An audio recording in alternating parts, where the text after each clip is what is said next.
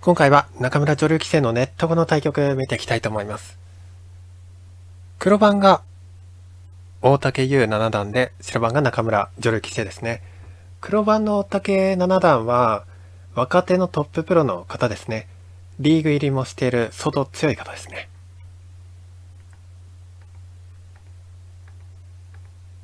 で、黒いきなり三々ですね。で、こうやって、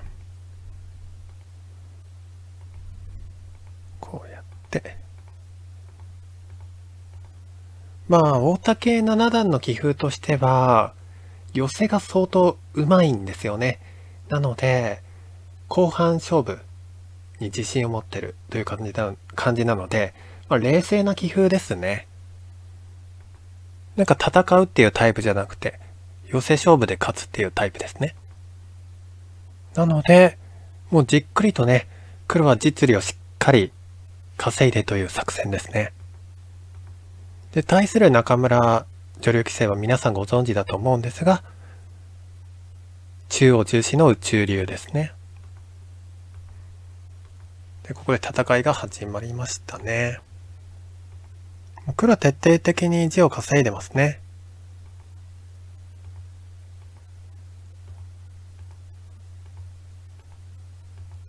まあ、今のところ白地が全然ないので、ここのね、弱い石が今、黒一つもないんですよね。この手が冷静な一手でしたね。この手いい手でしたね。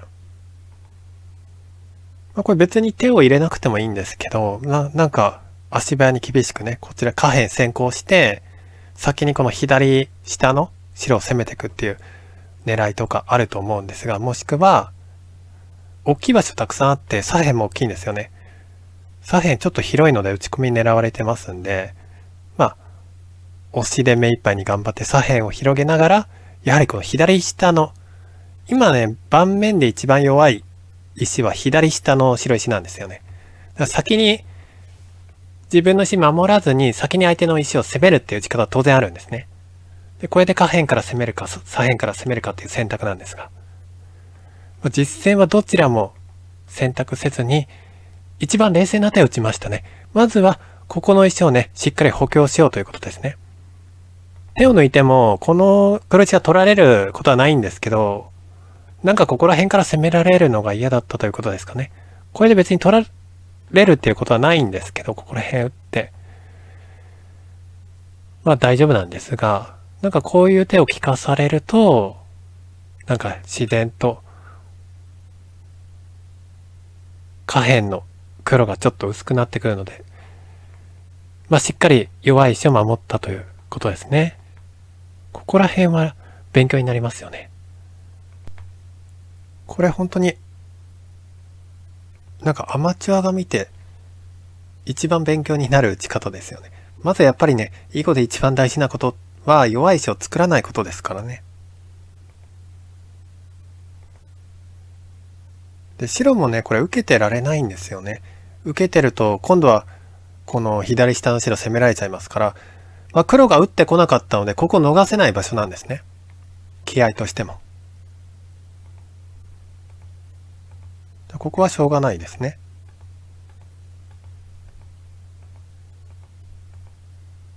で、曲がりで一回打ちましたね。で、ここで黒一旦攻めをやめましたね。まあ、これは、押さえてきたらコスミつけて、これは連絡してますよね。つながってますね。まあ、黒として狙いは、一応ここに置いていくっていう狙いはあるんですね。これで分断を狙っていくと。で、まあ、これは一応、遮るんですかね。で、ぶつかって、で、切るんですね。で、一応ここ下がりが効くんですね。で、渡りを遮ると、まあ、ここの白がまず危ないので、まあ、生きないといけないですね。ここら辺で。で、次に跳出し見られてるので、まあ、これは先手で効きそうですかね。で一応ここら辺でなんか先手で生きれるとは思うんですが、白としては。だここ大丈夫そうですよね。ただ、これね、ちょっと黒をね、すぐに攻めていくと、ここまで頑張って攻めると、下がりまで効いちゃうので、右下の隅が非常に味悪くなるんですよね。ここまでぴょんとね、飛ばれて、黒もちょっと攻められてしまいますので、ちょっとこれやりすぎなんですね。で、狙いとしては残ってるんですが、すぐに打つのはちょっとやりすぎということですね。ただ狙いは残ってますので、白はいずれもう一手必要な形になりますね。これすぐ攻めないのがね、冷静でいい手なんですね。で、こうやって。で、ここで、ちょっと黒石がね、周りに来たので、危なくなってきたので、一手手を入れましたね。やはりここ手見えてますね。さすがですね。これ手見えてないとここに、なんか、これが黒、ここに黒が置くっていうね。例えば、ここに置く手が見えてないと、当然手を抜いて、これが、やばいことに、まずいことになってしまうんですよね。だ当然手が見えてますので、一手守ったんですね。これさすがのね、一手でしたね。こうね、何気ない一手に見えるんですけどね、これ非常に大事な一手なんですね。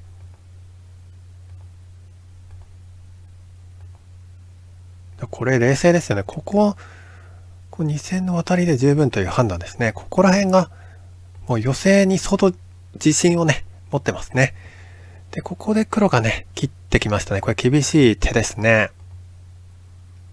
で、切りから割り込みですね。これ相当手が見えてましたね。これ厳しかったですね。これどういうことかというと、まあ、左から押さえて、これ全部頑張りたいんですが、当てる手があるんですね。で、これで A と B が見合いで、これ白石が取られてしまうんですね。これ結構大きいんですね。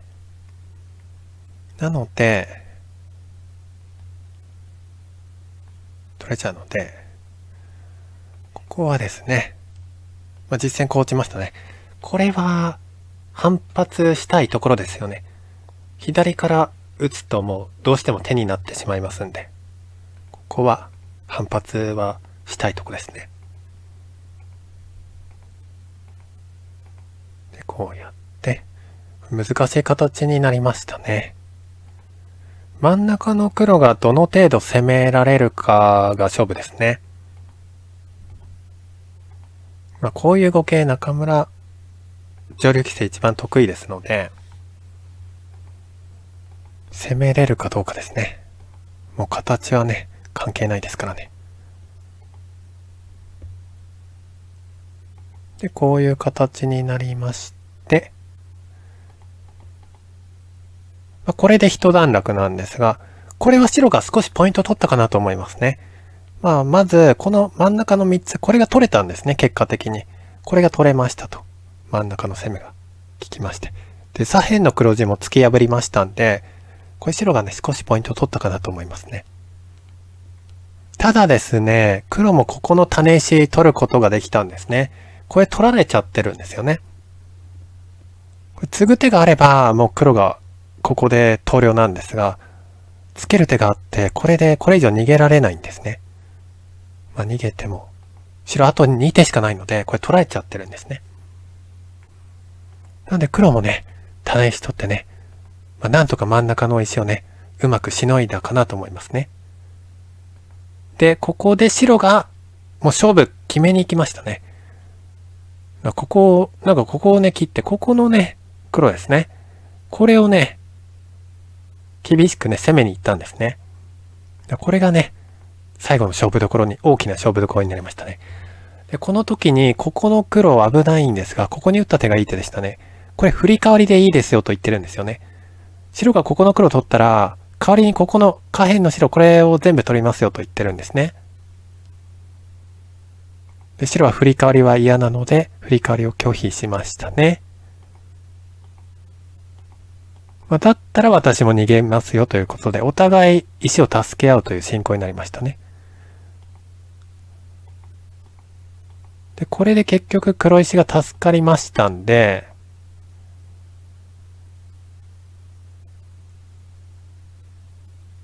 ここもね、切っていく手があればいいんですが、ちょっとダメが、ダメが詰まっちゃってますよね、白の。